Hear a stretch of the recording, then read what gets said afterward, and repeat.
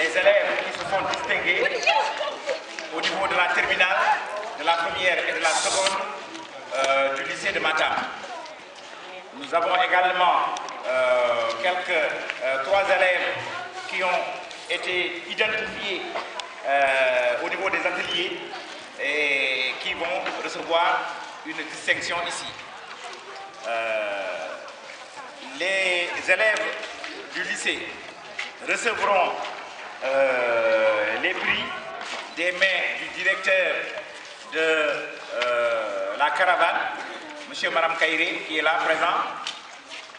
Il peut aussi demander à quelqu'un de remettre le prix. Mais il faut identifier déjà ceux qui sont là. Il y a les caravaniers qui auraient souhaité vous remettre beaucoup plus de prix, beaucoup plus de distinctions.